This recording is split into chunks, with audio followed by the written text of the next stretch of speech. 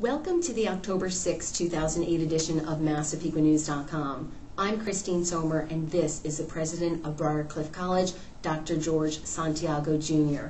Thank you so much for speaking with us today. Thank you for having me. Appreciate it. Briarcliffe College is enjoying an active fall calendar with 1,800 students enrolled at this career-oriented institution of higher learning with three campuses, Bethpage in Nassau County, Patchogue in Suffolk County, and Long Island City, Queens. Briarcliffe College President Dr. George Santiago Jr. has found a moment to tell us about some of the programs available at Briarcliffe, as well as upcoming events of interest including the Fair Media Council's Connection Day and Suffolk County's Hispanic Heritage Day. Dr. Santiago, tell me about Briarcliffe College. Okay, Briarcliffe College was founded in 1966 by the Turan family. It's been in existence for approximately 42 years. Um, in, it started out as a secretarial school, and it was all female, and uh, the students were required to wear white gloves. It was when secretarial schools were in the boom.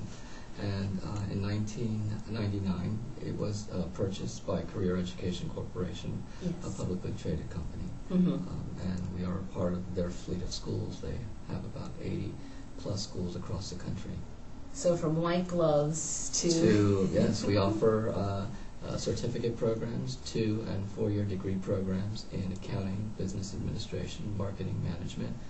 Uh, we offer criminal justice, we offer graphic design, digital photography, office technologies, and information technology. That's pretty impressive. Yeah. From a secretarial school to a four-year degree, Briarcliffe College has certainly come a long way.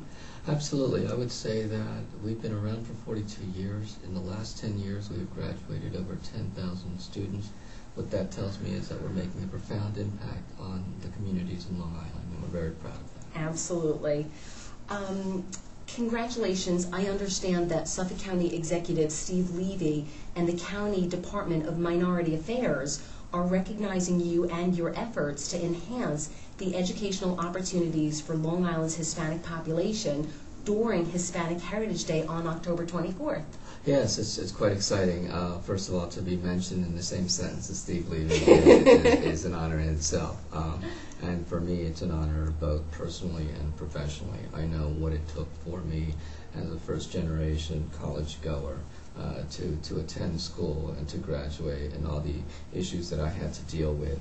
And for me, um, I'm excited to be able to tell that story to, to, to, to other students and their families. And inspire So, even the next generation. Absolutely. And then certainly uh, being on the other side now as an educator and as president of a college, for me, um, certainly the commitment is to enhance the opportunities for all students, particularly Hispanic students. And why I say his, particularly Hispanic students is because we know that um, the dropout rates among Hispanics is the highest among Yes. all racial ethnic groups uh, in high school, and they're the lowest, uh, the fewest to go to, to college, attend and graduate from college. So.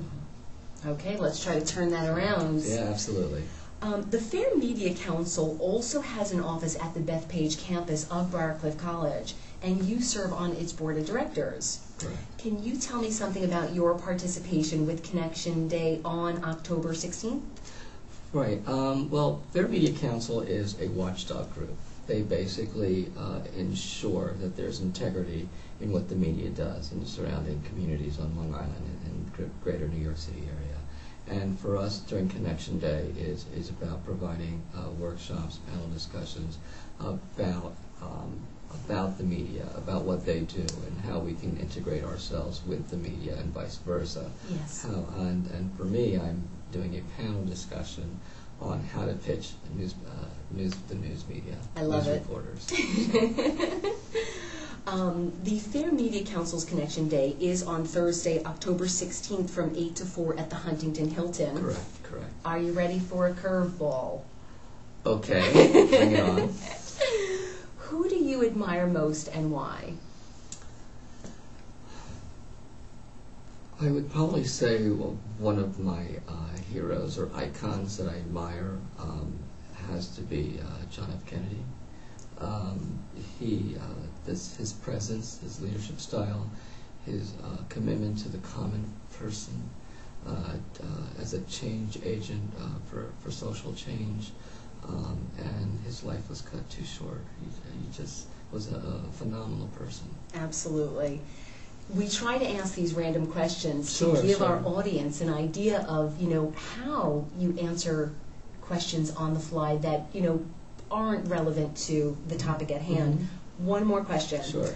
Name one person from history besides John Kennedy that you would like to have dinner with. Anyone from history, okay. Um, I would probably say um, it would be an entertainer. Um, Yes. and that person would most likely be Lucille Ball. And I will say Lucille Ball because uh, I grew up with her. I grew up watching uh, her, her television shows when they were black and white until they went into color. And she was just a funny woman. The experiences that the woman must have had in, in her lifetime, I would just love to be able to sit and chat with her and, and, and, and listen to some of that. Absolutely. Okay, before we conclude, Dr. Santiago, what is next for you and Briarcliffe College? Well, for Briarcliffe College, uh, we wish to expand our degree programs. We have three degree programs that we wish to launch, actually four in, in 2009. Uh, we wish to offer the uh, BS in Criminal Justice. We expect to launch that one in January. And the other three that we plan on launching later in the year are the um, Associate Degree Program in Paralegal Studies uh, for the Patchogue campus. We also wish to offer our first fully online degree program in business administration in the fall. And the third is a four-year degree in healthcare management. Very So impressive. we're looking forward to being able to expand our, our offerings to the community. Thank you so much, Dr. Santiago. Thank you. Massapequans, find Dr. Santiago on the MassapequaNews.com Who's Who page and find Briarcliffe College on education.